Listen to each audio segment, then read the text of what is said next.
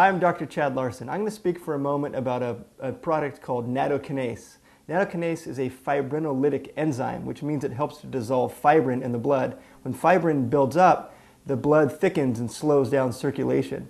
It's especially important for somebody who has a blood clot or has a history of a clotting issue or blood clots.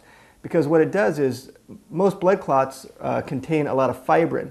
And so a fibrinolytic agent like nattokinase helps to dissolve the fibrin in the blood clot and dissolve the blood clot. As opposed to the conventional medical route, which is something like Coumadin, Coumadin thins the blood as an anticoagulant. When something blocks coagulation, it could increase your bleeding, your bruising, and so forth. Nattokinase, since it does not affect the coagulation cascade at all, all it does is dissolve fibrin.